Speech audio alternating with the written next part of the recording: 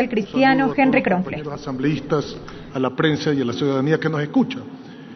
Quisiera solamente intervenir para poder complementar algunas ideas que creo que son importantes definirlas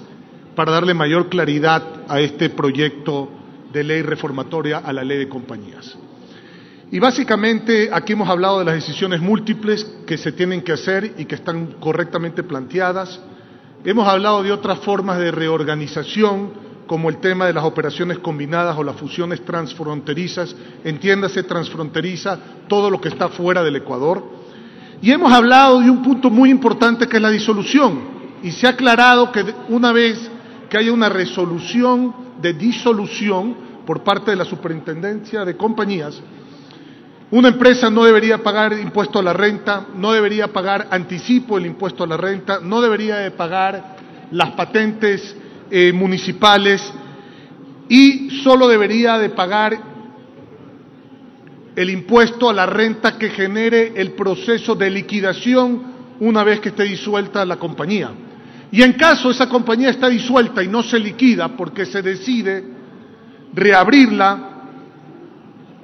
volverla a poner en operación, tendrá que pagar proporcionalmente los impuestos y los haberes que dejó de pagar en el lapso eh, establecido dentro de la disolución. Hasta ahí todo está maravilloso, pero quiero hacer, y para dejar claridad en esto, quiero ser muy preciso,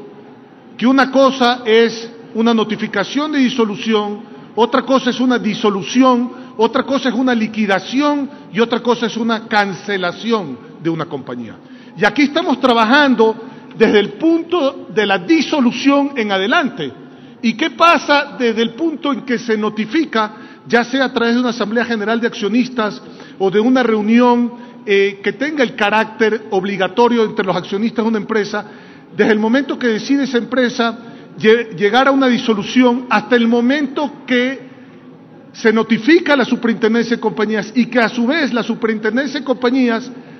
genera una resolución de disolución. Y ahí es donde yo tengo un problema con los tiempos. Y digo que tengo un problema con los tiempos porque la experiencia en la práctica, cuando he querido disolver una compañía, desde el momento que se notifica la superintendencia de compañías a través de un acta que genera, digamos, eh, estado dentro de una empresa, como puede ser una resolución de la Junta General de Accionistas, en donde se determine la disolución, hasta que se llega a la notificación de disolución por parte de la superintendencia de compañías, los plazos prácticamente no existen. Es decir, se puede mantener esto abierto sin que se cumpla esa resolución de disolución, porque lo que se hace es se pide y se pide y se pide información y nunca se llega al acta de, de disolución. De ahí que yo propongo al Pleno de la Asamblea Nacional que pongamos un, plano, un, un plazo establecido desde la notificación de la disolución hasta que se haga esa resolución de disolución en la superintendencia de compañías,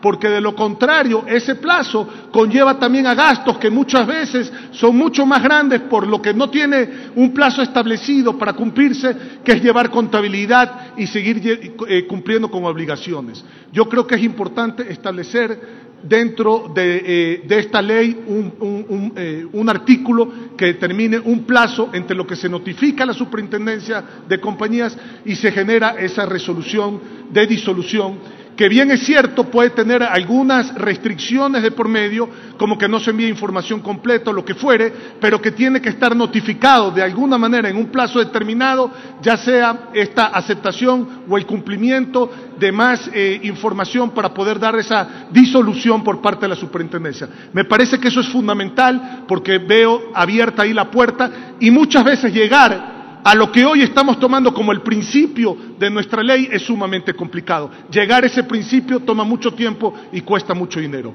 Hasta ahí mis observaciones, señor presidente y colegas eh, eh, asambleístas. Muchas gracias. La intervención